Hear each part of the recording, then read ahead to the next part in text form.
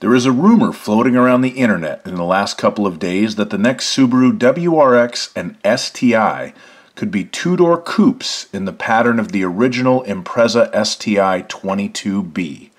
The rumors also suggest that this car will be developed in concert with Toyota and possibly even based on Toyota's TNGA architecture as opposed to Subaru's global platform. Furthermore, they are saying that the WRX will be sticking with its current FA20 engine, but it will have a standard CVT automatic transmission.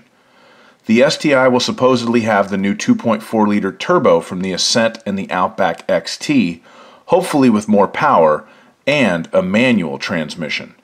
These cars will still be all wheel drive, but they may ditch Subaru's symmetrical all wheel drive for some sort of system co developed with Toyota called Super All Wheel Drive. Mixed in with all of this is a rumor that there will be a Yaris sized turbocharged hatchback with all wheel drive in the mix as well.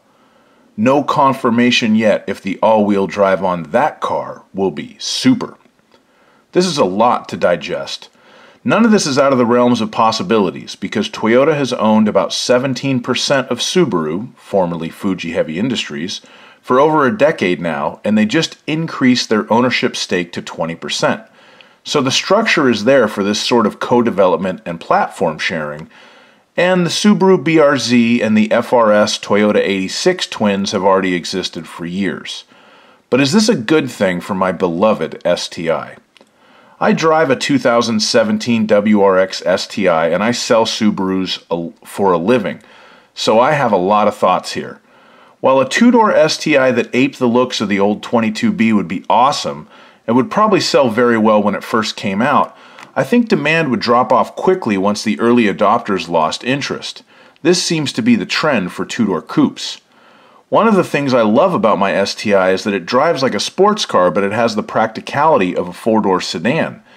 So while a modern 22B looking STI would be tempting to me, I don't know if I could actually pull the trigger on it. What I would really want, both as a fan of the WRX and the STI cars and somebody who has to sell them, is for Subaru to return to the way it was from 2011 to 2014 when both the WRX and the STI were available in both sedan and hatchback body styles.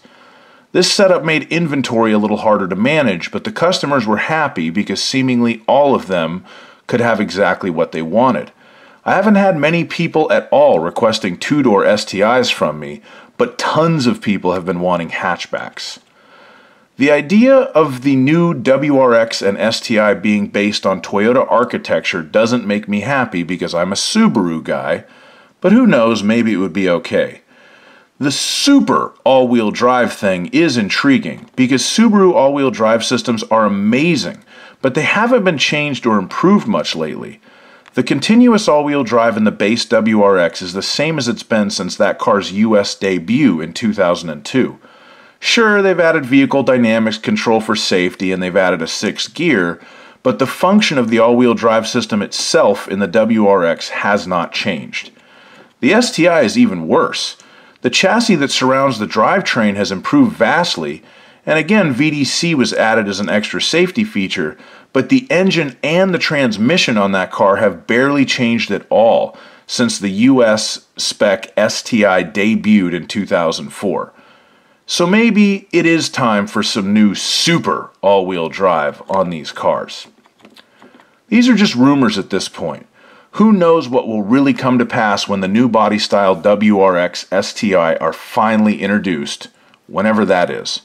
But I'd like to know your thoughts. Do you think a two door WRX or STI is a good idea? Is the hatchback all you want?